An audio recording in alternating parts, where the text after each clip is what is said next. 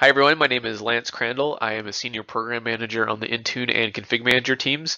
And last month I gave you a sneak peek of what's coming as far as Windows Store for Business integration into Configuration Manager for both standalone uh, agent managed devices as well as for hybrid managed devices through Intune.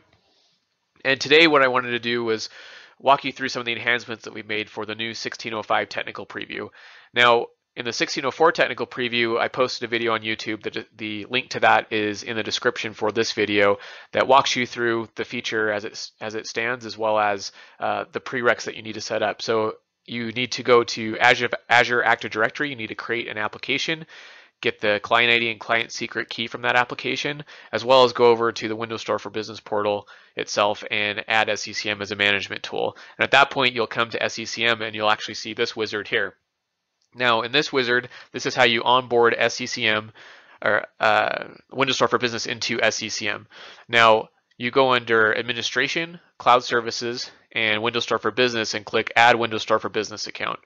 On this page, I'm going to add my tenant that I have, the client ID, and the client secret key that I got from Azure Active Directory, and click Verify. Now, I've obviously already, already clicked Verify here, and it was successfully verified. In addition, I'm going to specify a path for where offline content can get downloaded from Windows Store for Business uh, so that Configuration Manager can use it. Now, one of the new features that we've added in the 1605 technical preview here is the ability to sync down specific uh, languages from Windows Store for Business.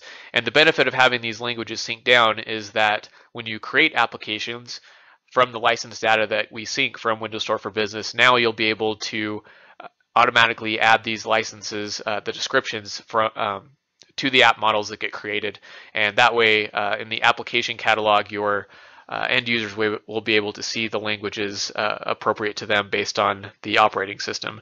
Now, this makes the assumption that the languages that you uh, that are available for the application are able to be synced down. We also have the ability to set a default kind of a fallback language here. If um, a user, for example, might have Chinese on their operating system, they go to the application portal and the uh, application in question wasn't translated into Chinese, it will fall back to whatever fallback language you selected here, assuming that language is also available.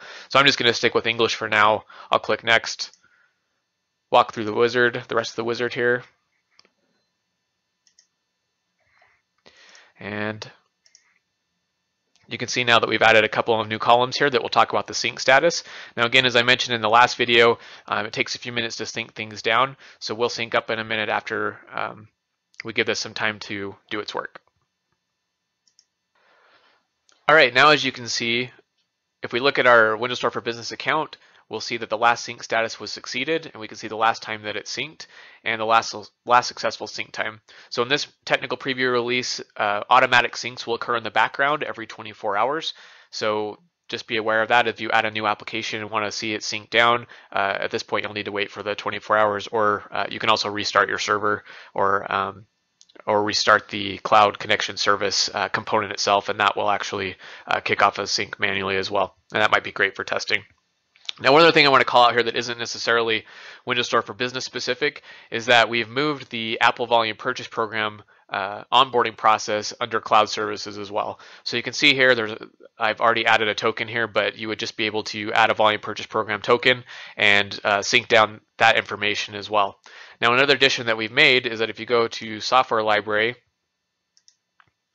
you'll see we have this license information for store apps node that I showed in the 1604 technical preview video. But now what you'll see is that since I've onboarded um, both the Apple Volume Purchase Program as well as Windows Store for Business, I see both sets of application uh, license information in this same view here. So let's say I wanted to go and, and create a, uh, an application for Adobe uh, Acrobat Reader, which is an iOS application. So what I would do is highlight the application, come to the top here and click Create Application.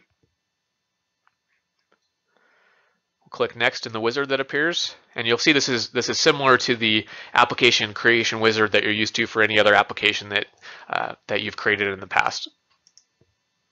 Here I can edit information about the application and click next, finish the wizard. And at this point you can see that the app model for the Apple VPP app got created successfully. So I can go to the applications node and deploy this application just like any other application that I have. So in this technical preview, I can create applications for Windows Store for business apps as well, whether that's online or offline. However, uh, the deployment piece is something that, that is coming in a future release. So at this point, for this technical preview, it's just the ability to create these apps. So for example, I'm going to come in, find a Windows Store for Business app uh, application here, and we'll say create application. We'll click next. And under the covers, this is going to import various pieces of information, like all the different uh, apps that might be a part of this particular bundle. It's going to get the content location path, etc. I can obviously edit that information. And we'll complete the wizard.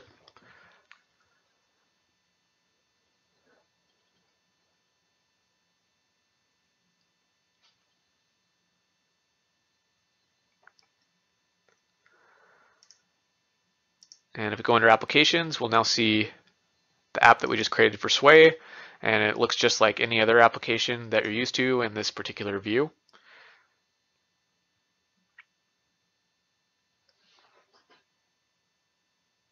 So we'll look at the properties here.